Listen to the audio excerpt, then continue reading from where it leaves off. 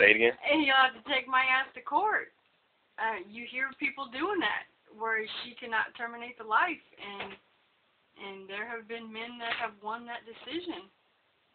I'm sure it's a rare case, It, it's rare, but nonetheless, like male rape cases. it is you know it's that right to choose, and and ultimately it is my body. So if I don't want it, then I'm sorry. What else is there to say?